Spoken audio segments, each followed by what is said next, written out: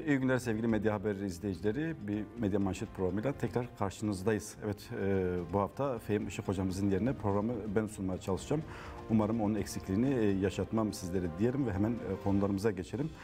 Haftanın e, manşetleri dosyasında e, gerçekten e, Kürdistan, Türkiye ve Orta Doğu ilgilendiren çok önemli gelişmeleri vardı. Onlara bakacağız. Onun hemen akabinde Dicle Fırat Gazeteciler Derneği'nin Ağustos ayına ilişkin hazırladığı hak ihlalleri raporu var. Eş Başkan Dicle Müftüoğlu ile bu konuya sizler için bakacağız. E, hemen akabinde ise İngiltere'ye gideceğiz. İngiltere'de yok oluş e, isyanı eylemleri e, başladı. O eylemler e, 1 Eylül'den itibaren sürüyor. O eylemlerin hem amacını hem de hedeflerini gazeteci arkadaşımız Erem Kansu ile birlikte paylaşmaya çalışacağız. Programımızın sonuna doğru da hafta içerisinde öne çıkmış köşe yazılarını sizler için hazırladık. Onları da hep birlikte bakacağız diyelim ve Medya Manşet başlıyor.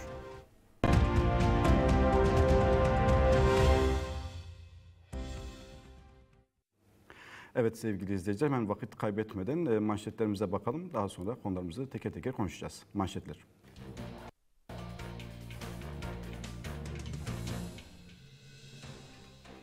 Yeni Yaşam gazetesinin 30 Ağustos sayısı tedbirleri halk alsın, bakan tweet atsın başlığıyla çıktı. Haberin detaylarında Türk Sağlık Bakanı'nın koronavirüs ile ilgili gerçekleri çarpıttığı söylenirken, virüste tırmanış, hekimler isyanda, hastaneler dolu, veriler gerçeklerle uyuşmuyor spotları öne çıktı.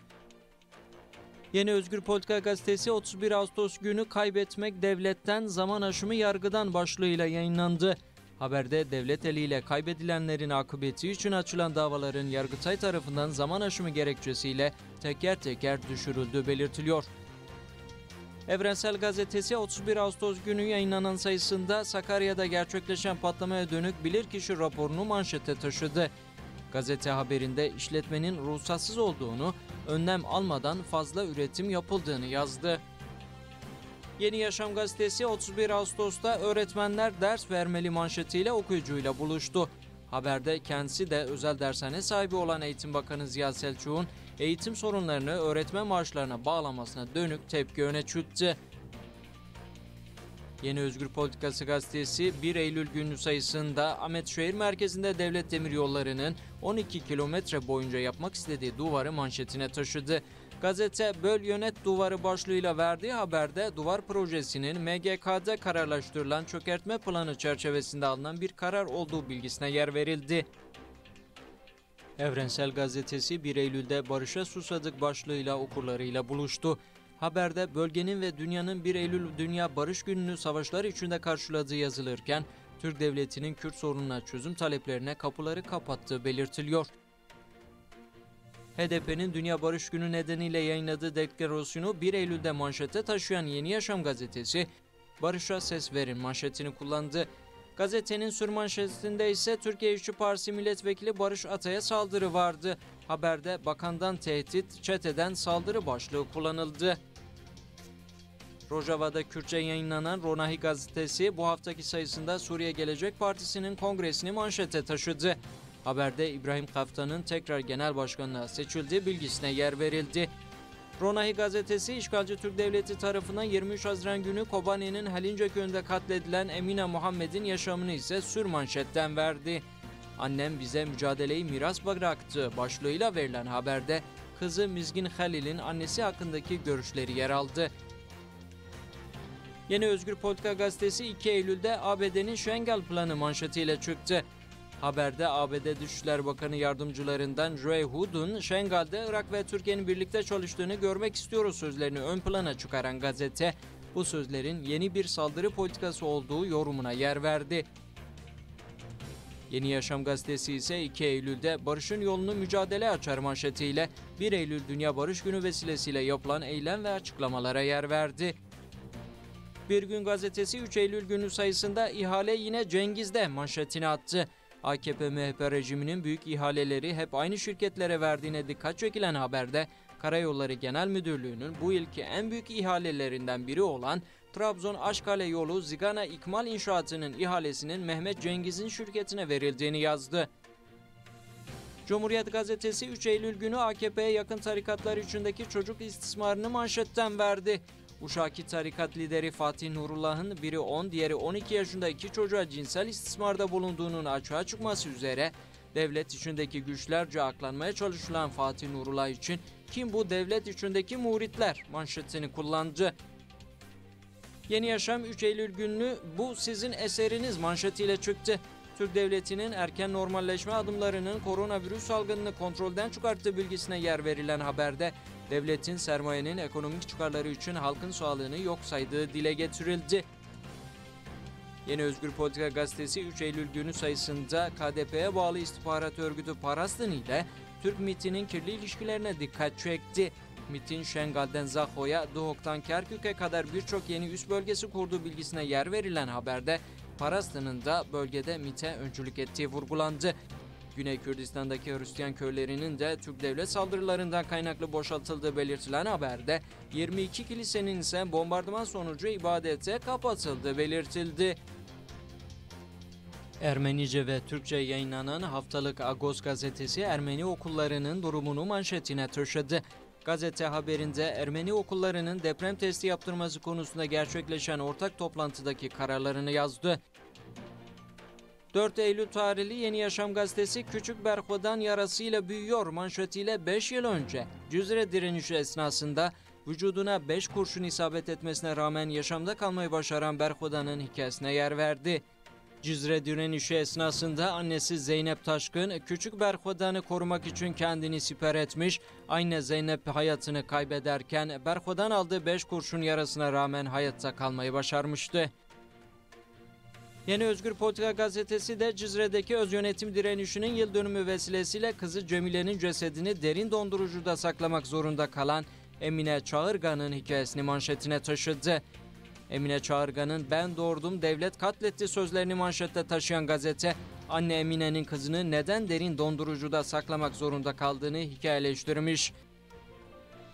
Haftalık Atılım gazetesi 442. sayısının sür manşetinde Kars'ta 28 Ağustos'ta şehit düşen Marksist-Leninist Komünist Parti savaşçısı ve Hakların Birleşik Devrim Hareketi gerilası Koray Aspir'in son yolculuğuna uğurlanmasına ilişkin habere yer verildi. Gazetenin manşetinde ise Mustafa Supi'nin liderliğindeki Türkiye Komünist Partisi'nin kuruluşunun 100. Türkiye'li Marksist-Leninist Komünistlerin ise 26. mücadele yıl dönümüne denk gelen 10 Eylül'e ilişkin değerlendirme yer aldı. Yeni Yaşam gazetesi 5 Eylül günkü sayısında Covid-19 salgınıyla mücadele eden sağlık emekçilerinin durumunu manşete taşıdı. Sorumlu iktidar manşetiyle verilen haberde hükümetin erken zafer şovunun acı sonucu 73 sağlık emekçisi yaşamını yitirdi bilgisini paylaştı. Yeni Özgür Politikası gazetesi ise KDP Ankara hizmetinde başlığıyla Necirvan Barzani'nin Ankara görüşmelerini manşete taşıdı. PKK'ya karşı Türk Devleti ve KDP içine girdiği kirli ilişkilere dikkat çeken haber, Neçirvan Barzani biat tazeledi yorumunu yaptı.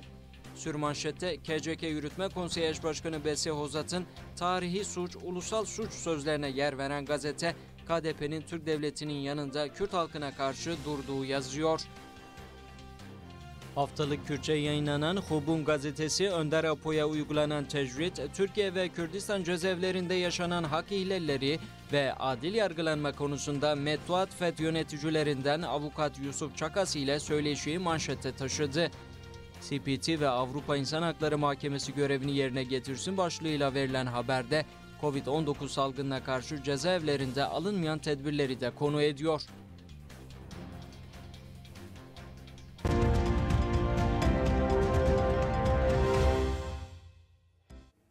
Değerli izleyiciler, evet bu yoğun e, gündemi sizler için hazırlayan gazeteciler maalesef e, Türkiye'de ve Kuzey Kürdistan'da çok yoğun baskılar altında. Konuya ilişkin Dicle Fırat Gazeteciler Derneği bir rapor hazırladı. Ağustos ayı hak ihlalleri raporu. Onu paylaşalım. Daha sonra üzerinde konuşacağız. Dicle Fırat Gazeteciler Derneği Ağustos ayı gazetecilere yönelik hak ihlalleri raporunu paylaştı. Raporda Ağustos ayında iki gazetecinin tutuklandığı, 8 gazetecinin de saldırıya uğradığı belirtildi. İktidarın gerçeklerin üstünü örtmek istediğinde ilk el attığı alanın basın ve medya olduğuna dikkat çekildi. Geçtiğimiz ay basına yönelik hak ihlallerinden ekran karartmaları ve erişim engelleri olduğunun hatırlatıldığı açıklamada faşist iktidarın bu engellemelerle basın özgürlüğünü dikkate almadığını bir kez daha ortaya koymuş olduğu ifade edildi. Son zamanlarda çok sık yaşanan tecavüz olaylarında da hedefin yine gazeteciler olduğu vurgulanarak Musa Orhan'ın İpekere tecavüzünü gündeme getiren gazeteci hakkında soruşturma başlatıldığı hatırlatıldı. Gazetecilere yönelik Ağustos ayında yaşanan en dikkat çekici olaylardan birinin de ajanlaştırma girişimi olduğu vurgulandı. Birçok gazetecinin hala hapishanede tutulduğuna işaret edilen raporda gazetecilerin yeri cezaevi değil haberlerin olduğu sokak ve meydanlardır ifadelerine yer verildi. Ağustos ayında gazetecilere yönelik hak ihlalleri ise şöyle. Gözaltına alınan gazeteciler 3, tutuklanan gazeteciler 2, saldırıya uğrayanlar 8, gazetecilere yönelik işkence ve kötü muamele 2, gazetecilere yönelik tehdit ve ajanlık dayatması 1, haber takibi engellenen gazeteciler 2 olay, hakkında soruşturma açılan gazeteciler 3, hakkında dava açılan gazeteciler 3, yargılaması devam eden gazeteciler 1 dosya 5 gazeteci, rütük cezaları 7, internet erişimi engelli 97 haber 2 internet sitesi, tutuklu gazeteci sayısı 4 Eylül 2020 itibariyle 95 oldu.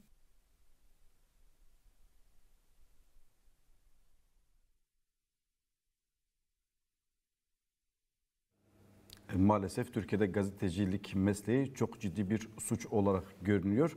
Konuya ilişkin demiştik ki Dicle Fırat Gazeteciler e, Derneği eş başkanı Dicle Müftüoğlu'yla konuşacağız. Yanılmıyorsam Dicle şu anda hattımızda. E, Dicle merhaba, sesimi alıyor musun? Merhabalar. E, Evet, Dicle teşekkür ediyorum yanımıza katıldığın için. Hemen ilk soruma geçeyim. E, raporun detaylarını dosyamızda izledik. E, Ağustos ayı gazeteciler için nasıldı Türkiye'de? Ee, Ağustos ayı da diğer aylar gibi ne yazık ki zorlu bir aydı gazeteciler için. Yani halka gerçekleri e, yansıtmak adına e, büyük e, çaba sarf etti gazeteciler ve e, bu ay süresince hani raporumuzda da yer aldığı ölçüde gazeteciler gözaltına alındı. Mahkeme e, salonlarında yargılandı. E, e, ajanlıkla e, tehdit edildi, haklarında soruşturmalar açıldı. Böylesi zorlu e, bir e, aydı diyebiliriz. Ama Türkiye genelinde e, ne yazık ki e, Cumhuriyet'in kurulduğu tarihten bu yana, Türkiye Cumhuriyeti kurulduğu tarihten bu yana basın özgürlüğünden çok da söz etmek mümkün değil. Cumhuriyet'in ilk yıllarından bu yana gazeteciler öldürülüyor, e, tutuklanıyor, gazeteler kapanıyor, televizyonlar kapalı, kapanıyor ve gerçeklerin üstü bu şekilde örtülmek isteniyor. Ya bir baskı aracı olarak e, bu iktidar tarafından maalesef kullanılıyor ama e, peki e, dünya kamuoyunun e, bu hak ihlallerine yaklaşımını nasıl değerlendiriyorsun Dicle? Özellikle Avrupalı Ee, ya da e, diğer meslektaşlarınız, meslek örgütlerinizin e, Türkiye'deki bu hak ihlallerine yaklaşımını nasıl değerlendiriyorsunuz? Yani şunu söyleyebiliriz, birçok noktada olduğu gibi evet e, çeşitli dayanışma noktalarımız var. E, kimi dönem e, yaşanan herhangi bir tutuklama ya da genel bir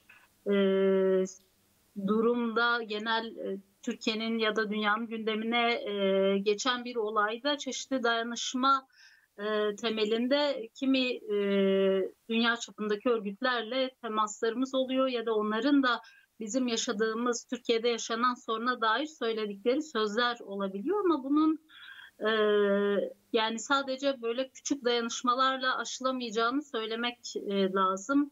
E, yani e, son hani Türkiye'deki genel e, tabloya baktığımızda ya da Orta Doğu'daki duruma baktığımızda Avrupa kamuoyunun e, genel diğer yaptığı açıklamalardan çok öteye gitmiyor.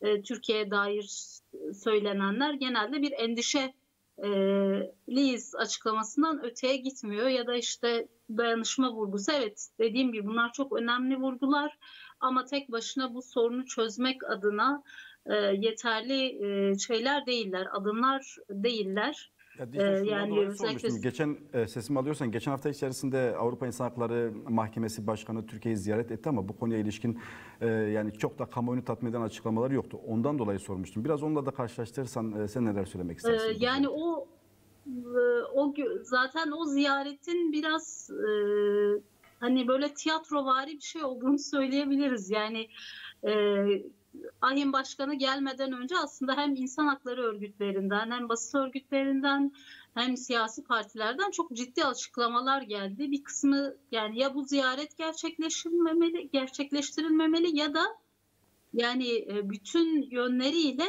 e, birlikte e, yani var olan sorunlar Türkiye'deki hukuksal e, anlamda basın özgürlüğü, ifade özgürlüğü noktasındaki bütün herkesin bildiği, tartıştığı meseleleri konuşmak e, üzerine e, bir ziyaret olması, bunun ön plana e, çıkması e, noktasında e, şeyler vardı. Hatta Türkiye'nin ilk ahim e, yargıcı e, Rıza Türmen de bir yazı kalemi almıştı ve eğer e, şeyse e, yani ahim başkanı Türkiye'de Türkiye bir hukuk devleti değil diyecek mi yani? Bunu dile getirebilecek mi? Ne yazık ki getirmediği gibi işte İstanbul Üniversitesi'nde e, kendisine verilen Fahri Doktora ödülünü aldı. Böyle işte e, güzel süslü laflar etti. Üstü kapalı işte iktidar e, ifade özgürlüğüne, yargıya müdahale etmemelidir dedi. Ama bunun birçok örneği var. Yani en basitinden ahim kararı var işte Demirtaş ve e, Osman Kavala'ya ilişkin ahim kararı var. Bunlar uygulanmadı. Bunun neden uygulanmadığını dahi sormadı.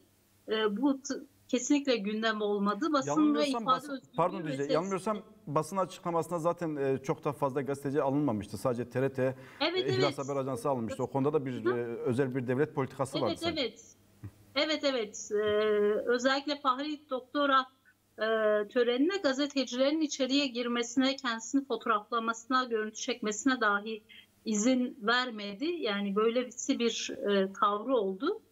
Hmm, Dolayısıyla bir ahim, bir hukukçunun e, basına böyle yaklaştığı bir koşulda gelip e, buradaki e, ifade özgürlüğü ya da basın özgürlüğü noktasında çok büyük laflar etmesini beklemiyorduk elbette ama kimliği e, sebebiyle e, yapması gereken buydu. E, yani Ahim'e e, Ahim'in son başkanı, yeni seçilen başkanı ve bu noktada Türkiye'ye aslında Avrupa'dan, Ahim'den de doğru çok ciddi eleştiriler var. En azından bu eleştiriler temelinde yaklaşabilir ve e, Ahim'e giden belki önemli dosyalar, dikkat çekici dosyaların dan isimlerle, başvurucularla görüşebilirdi, insan hakları örgütleriyle görüşebilirdi, basın örgütleriyle görüşebilirdi ama ne yazık ki e, yapmadı. Evet anlıyorum. E, hafta içerisinde Tele1'in de ekranı karartıldı. Ona ilişkin birkaç cümle de alayım Dicle lütfen. Ee, Yani e, Türkiye'deki artık basın özgürlüğüne ilişkin kısıtlama evet ne yazık ki öyle bir noktaya geldi ki ekran karartılıyor. Evet 2015 yılında birçok gazete, e, televizyon, radyo kapatılmıştı. E, Biz artık bu durumu biliyoruz ama e, yani bir eleştirel haber yaptığı için bir e, televizyon ekranı 5 gün süreyle kapatılabiliyor.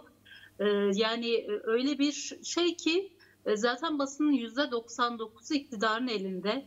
E, Ne yazık ki artık böyle AKP, MHP iktidarının e, basın e, kolu gibi çalışan e, bir şeyden söz ediyoruz. E, Durumdan söz ediyoruz medyayı konuşurken ama biz e, bakıyoruz ki çok nadir e, iktidara muhalefet eden e, kanalların e, ların tek cümlesine bile tahammül yok ve onlar e, karartılıyor. Bunu kabul etmek mümkün değildir. E, gerçekler ne olursa olsun dile getirilmeye devam edilecektir. Yani gazeteciler bunu söylemeye, e, bu haberleri yapmaya devam edecektir. E, dediğim gibi e, 90 yıldır ne yazık ki bu iş böyle ilerliyor. Evet ekranlar karartılıyor, gazeteciler tutuklanıyor ama bunun karşısında e, yazan, gerçekleri dile getiren gazeteciler var ve onlar da mücadele ediyorlar. Evet e, Dicle Müftüoğlu, Dicle Fırat Gazeteciler Eş e, Başkanı çok çok teşekkür ediyorum. Görüşlerini bizimle paylaştığın için çok sağ olun.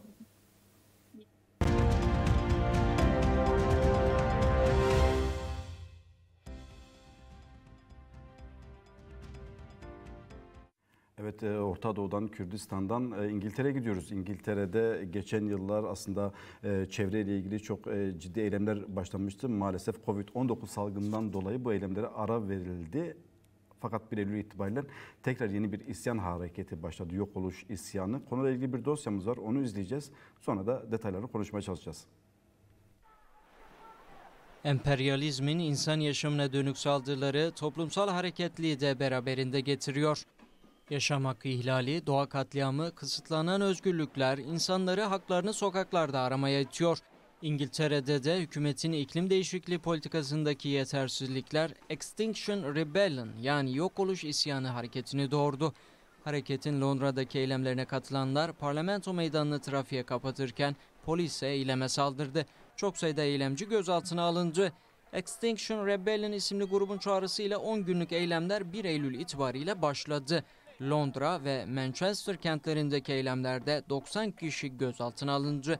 Eylemcilerin talebi ise küresel ısınmanın engellenmesi, dünyanın kirletilmemesi ve kar için katledilen ormanların korunması. Dünyanın yok olması Covid-19'dan daha vahim diyen eylemciler eylemlerine katılım çağrısı yaptı. Eylemlerin kitleselleşerek yayılması bekleniyor. Geçtiğimiz yılda aynı tarihlerde benzer eylemler yapılmış yüz binlerce kişi haftalarca Londra sokaklarını terk etmemişti. İngiltere'de kurulan ve dünya çapında örgütlenen yok oluş isyanı 60 kente protesto gösterileri düzenlemişti. Grup Londra'da güç odaklarının merkezlerini barışçıl bir şekilde işgal edip kapatacağını duyurmuştu.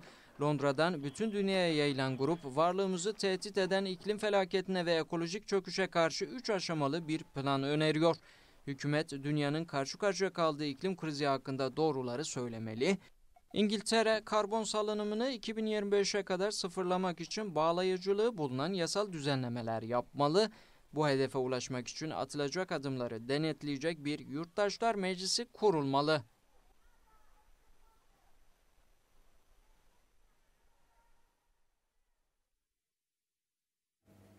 Daha yaşanabilir bir dünya için e, dünyanın dört bir yandan tepkiler yükseliyor. Çünkü bu eylemler İsviçre'de de e, yapıldı. Geçen günlerde İsviçre'de yine böyle bir eylem dalgası e, vardı. Şimdi İngiltere'yi konuşacağız dedik. İngiltere'nin e, detaylarını e, gazeteci arkadaşımız Erem Kansoy'dan alacağız. Yanılmıyorsam Erem hazır. Erem e, merhaba.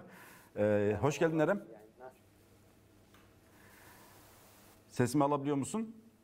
Evet merhabalar, iyi yayınlar.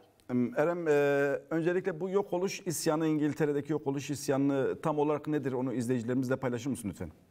Ee, yok oluş isyanı sizin de e, programda belirttiğiniz gibi paket programımızda e, bir e, Extinction Rebellion olarak bilinen bir hareket, bir itaatsizlik eylemi hareketi aslında. İngiltere'de başlayan İngiliz aktivistlerin başlattığı ve e, dünyanın e, geçtiğimiz yıl yine sizin belirttiğiniz gibi 6 farklı ülkesine yayılan e, çevreci bir hareket aslında. E, fakat bu çevreci hareket e, gün geçtikçe büyüyor ve e, birçok farklı aydın aktivistleri de e, aynı zamanda sol kitleleri e, İngiltere'nin e, önde gelen isimlerini de içine e, katmaya başlıyor. E, taleplerinin taleplerinden bahsetmiştiniz. E, özellikle taleplerinde en çok dikkat çeken 2025 e, hedefi bu bağlayıcılık boyutuyla ilgili olan İngiltere'de karbon salınımının 2025'e kadar sıfırlanması. E, bunun üzerine Extinction Rebellion'ın bugün e, bu boyutta büyük olmasının sebebi birçok ülkeye yayılmasının en özel sebebi ise hatırlarsanız e, e, Ekvador elçiliğinde bulunan Julian Assange, e, Wikileaks'in e, kurucularından Julian Assange'ın İngiliz polisinin iddialarına göre e, Julian Assange'ın bazı belgeleri İngiltere ile ilgili e, yok oluş isyanı hareketine ilettiği yönündeydi. E, özellikle buraya dayanan, bu buradan e, gücünü alan e, yok oluş isyanı ise e, İngiliz polisiyle sürekli çatışma halinde. Oysa e, biliyorsunuz İngiltere e, siyasetin başkenti ve Londra e, dünyanın birçok yerine etki eden bir ulusal siyasete sahip. E, birçok eylem, yüzlerce farklı eylemler, hayvan haklarından tutun da kadın haklarına, e, insan hakları savunucuları her gün Merkez Londra'da e, eylemler düzenleniyor fakat İngiliz polisi hiçbirine bu boyutta müdahale etmiyor. Fakat e, e, yok oluş isyanının e, Julian Assange'la bağlantısı olduğu iddiasından dolayı İngiliz polisi e, böylesi e, sert müdahalelerde bulunuyor. E, bunu belirtmekte fayda olduğunu düşünüyorum. Yani o şekilde açıkladın da ama Erem e, fakat e, İngiliz devletinde çok sert e, yaklaşımı vardı. Çok yoğun gözaltılar da e, vardı. E, çevre eylemlerine ya da doğayla ilgili eylemlere neden bu kadar sert yaklaşılıyor? Onu nasıl yorumlayabilirsin? Çünkü sonuçta daha yaşanılır bir dünya hem devletleri yöneten insanlar için hem de bütün halklar için, bütün insanlar için gerekli. Sen bunu nasıl yorumluyorsun? Sizin sizin sizin bu noktada bu bahsettiğiniz paradoks çok önemli aslında. Ee, özellikle e, dünyanın daha yaşanır, daha güzel olması e, için e, efor harcayan bu e, eylemciler e, bu şekilde sert bir tepkiyle karşılaşıyor. E, e, şuradan yola çıkarak bunu anlamak mümkün oluyor. Şunu şöyle yorumlayabiliriz. Özellikle Julian Assange'ın e, bu hareketle bağlantısı ve İngiliz istihbaratının elbette Ekvador elçiliğiyle olan bağlantısı söz konusu burada. E, çıkar politikaları maalesef yine İngiltere'nin e, çıkar politikaları e, bu noktada e, İngiliz polisinin e, eylemcilere bu denli sert müdahalelerde bulunmasına yol açtığını düşünüyoruz. Yani tamam İngiltere belki bunu bahane olarak e, e, Ekvator'daki büyükelçilik meselesini belki gündeme getiriyor olabilir ama dünyanın birçok ülkesinde de devletler bu tarz eylemlere maalesef e, sert yaklaşıyorlar. E, bu dünyada yaşayan bir insan olarak aslında bu dünyayı paylaşan bir insan olarak sen nasıl düşünüyorsun bunu? Ne ilginçtir ki maalesef artık kapitalizm ve emperyalist güçler o kadar vahşileşmiş durumda ki maalesef dünyamızı daha güzel, daha geleceği daha e, yaşanır bir hal olması e, için e, sesini çıkaran herkese karşı e, bu şekilde sert müdahalelerde bulunduğunu düşünüyorum. E, özellikle yok oluş isyanına baktığımızda geçtiğimiz yılki eylemde 1700'den fazla kişi gözaltına alınmıştı. E, bu yılki eyleme baktığımızda ise e, hala hazırda 250'nin üzerinde gözaltı var. E, fakat e, ekstremist grupların dahi yaptığı eylemlerde ve e, çevreye zarar veren eylemlerde dahi İngiliz polisi bu kadar gözaltı yapmıyor. E, dolayısıyla bu bu sorun, bu konflik, bu e, paradoksu yorumlamak oldukça derin. Biraz daha fazla zamana ihtiyacımız olacak bunun için ama e, belirttiğim noktada Julian Assange ve İngiliz istihbaratının bu işte çok büyük payı olduğu e, burada aydın kesimler tarafından da e, konuşuluyor. Ee, peki yok oluş isyanı bir şekilde bu eylemlere öncülük ediyor ama e, İngiliz kamuoyunun, İngiliz halkının bu eylemlere yaklaşımları nasıl? Onu nasıl gözlemledin Erem?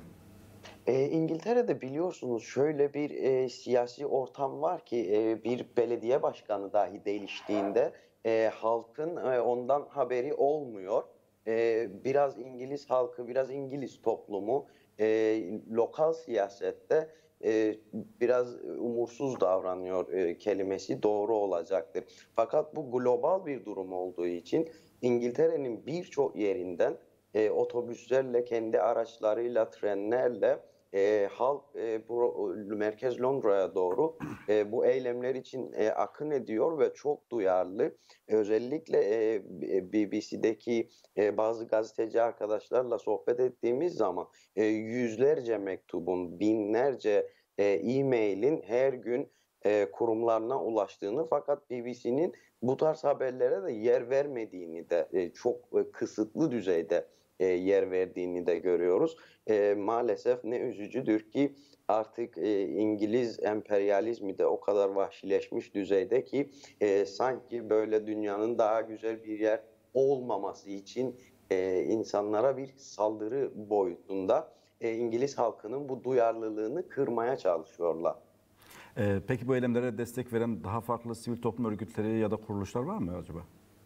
E, bu eylemlere destek ver. Aslında Extinction Rebellion'ın yok oluş isyanının tabanı tamamıyla farklı kitlelerden oluşuyor. Fakat e, e, ne yazıktır ki e, biliyorsunuz İngiltere özellikle Londra metropol bir şehir ve e, burada birçok e, farklı ırktan, farklı dilden e, insanlar yaşıyor. Bu insanların da kendi komünlerinin ve e, yöneticilerinin e, bu e, yok oluş isyanına destek veriyor. Fakat ön plana çıkmıyor farklı isimler olarak.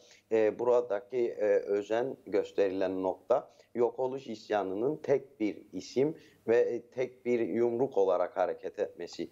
Fakat e, şöyle cevaplayayım. Evet e, birçok farklı belki 50'nin üzerinde farklı e, komünlerin, e, farklı grupların desteklediği e, özellikle anarşist İngilizlerin de ön plana çıktığı bir grup.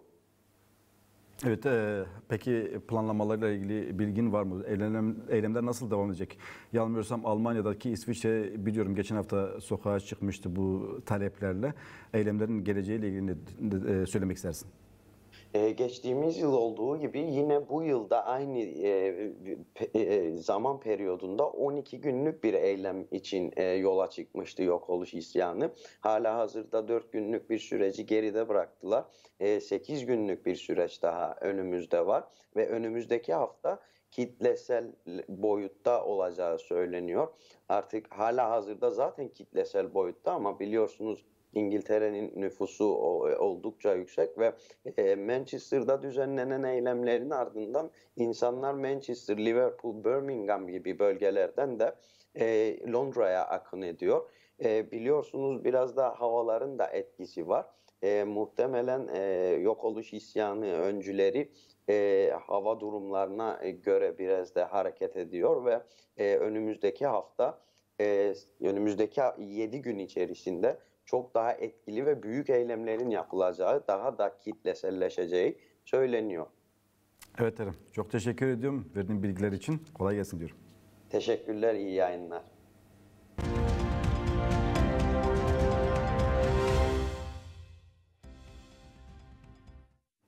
Evet, e, İngiltere'deki durum e, böyle. E, şimdi hafta içi sizler için derlediğimiz e, köşe yazılar var. İlkini hemen verelim. Nurettin Demirtaş Yeni Özgür Politika Gazetesi'nde yazdı. Özellikle Güney Kürdistan'daki gelişmelere ışık tutan bir yazı. KDP'nin tutumuna ilişkin ışık tutan bir yazı. Hep birlikte dinleyelim. Kürdistan tarihinde hiç hatırlanmak istenmeyen günler de vardır. 31 Ağustos 1996 bunlardan biridir. KDP Saddam'la işbirliği halinde o gün Hevler'e saldırmıştır. Hevler o dönemde YNK'nin elindeydi. İran'la bağlantılı muhalefet de burada toplanmıştı. Dolayısıyla Saddam'ın buraya saldırmasına İran karşıtı devletler de göz yumdu ve KDP Saddam'ın tankları eşliğinde Hevler'i YNK'nin elinden aldı. YNK'nin kayıpları ve esirleri vardı. Önder Apo ve PKK devreye girmese YNK adına durum daha da vahim olacaktı. Saddam rejiminin tankları eşliğinde YNK'ye saldıran KDP, bugün de Türk faşizminin tanklarını, uçaklarını PKK'ye karşı öne sürmüş durumdadır. Her şeyden önce PKK YNK değildir. Ayrıca bundan elde edebilecekleri bir zafer olamaz, olsa bile tarihin en kirli zaferi olur. Türk savaş uçakları yaylalardaki halkı bile bombalarken KDP halen Türk faşizminin ağzıyla PKK'yı suçluyor. Hangi KDP yetkilisi ağzını açsa PKK olmasa bu sorunlar olmazdı diyor. Irkçı Türk faşistleri de ne güzel Kürtleri bitirmiştik, PKK olmasa Kürt sorunu olmazdı diyor. Kim ne derse desin gerilla Kürdistan'ı savunacaktır. KDP 31 Ağustos utancını sürdürmek istemiyorsa Kürt Ulusal Birliği konusunda nerede durduğunu sorgulamalı, faşist TC sömürgeciliği ile ilişkilerini PKK karşıtı temelinde sürdürmeye son vermelidir. Bu işlerin ABD-İran restleşmesi ve İsrail'in KDP üzerindeki etkisiyle de bağlantısı vardır. Türkiye, Efrin'den Hakurke'ye dek uzun bir hat şeklinde Kürdistan'ı işgal etmek isterken ABD ve İsrail için esas gündem İran'dır. Irak Başbakanı Kazimi'nin ABD ziyareti bu temelde gelişmiştir.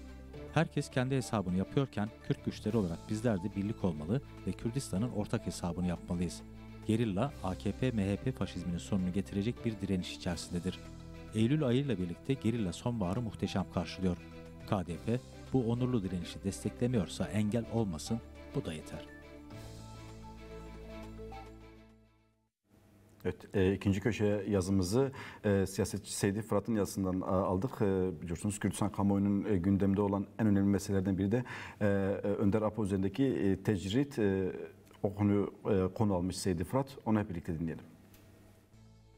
PKK lideri Sayın Öcalan 22 yıldır İmralı'da işkence koşulları altında tutuluyor.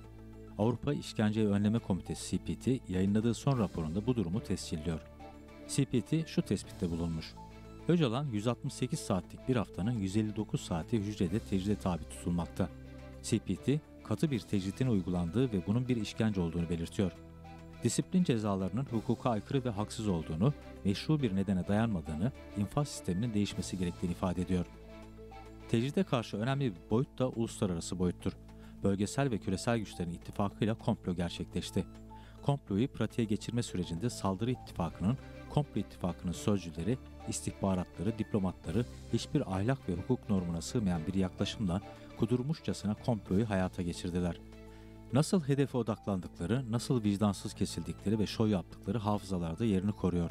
İmralı sistemi de aynı zihniyetin, aynı saldırgan ruh halinin kirli ittifak ve aklın eseridir. Öcalan'ın küresel boyutta bir kötülüğe, saldırıya, sistematik bir tecride maruz bırakılmasına karşı küresel çapta bir dayanışma önem kazanmaktadır. Vicdanın, aydın duruşunun, demokratik tavrın hem yerel hem de küresel çapta Öcalan'ın özgürlüğüne odaklanması en isabetli yaklaşım olacaktır. Odaklanma aynı zamanda küresel kapitalist sisteme karşı bir duruşun, alternatif bir duruşun da ifadesi olacaktır. Çünkü Sayın Öcalan'ın temsil ettiği mücadele bugün Orta Doğu kaosunda, karanlığında ve soykırım ortamında insanlığa nefes oluyor. İngiliz işçi sendikalarının vakit geldi sloganıyla yürüttüğü kampanya yine Birleşik Krallık'ta on binlerce üyesi olan Müzisyenler Sendikası'nın Öcalan'a özgürlük kampanyasına katılması, Durham Madenciler Sendikası Festivali'nin geçen yıl Öcalan'a adanması, çok sayıda bilim insanının ve dünya çapında tanınmış aydın, sanatçı ve akademisyenin dönem dönem Öcalan'ın özgürlüğü talebiyle yayınladığı deklarasyonlar önemli bir duyarlılık oluşturmuş olmakla beraber yetersizdir.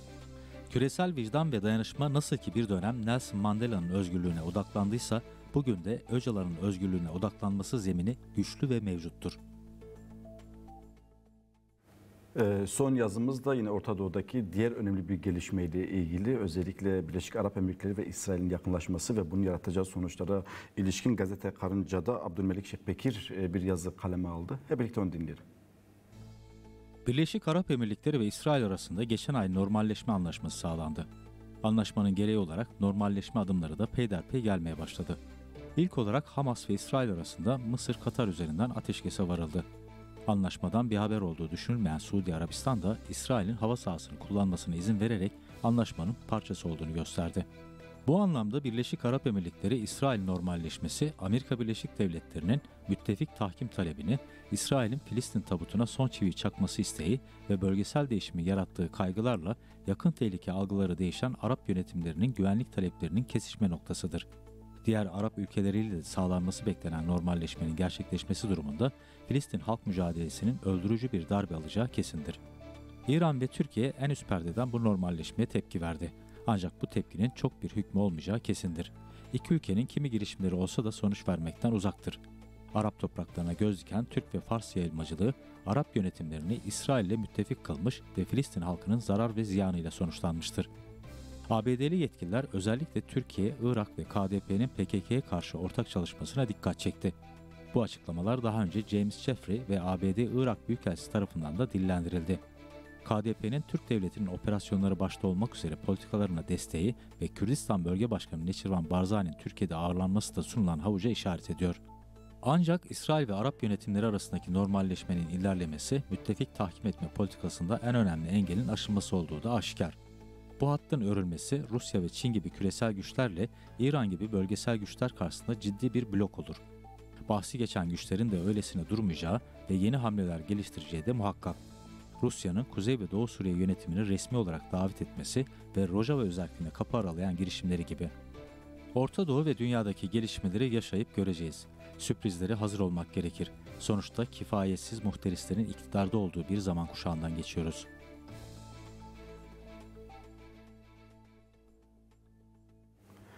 Değerli izleyiciler, e, bize ayrılan sürenin maalesef sonuna geldik. Önümüzdeki hafta yine e, hocamız Fehim Işık e, programını size sunacak. Ekranlarınızın karşısına gelecek. Şimdilik size hoşça kalın diyoruz. İyi pazarlar diliyoruz.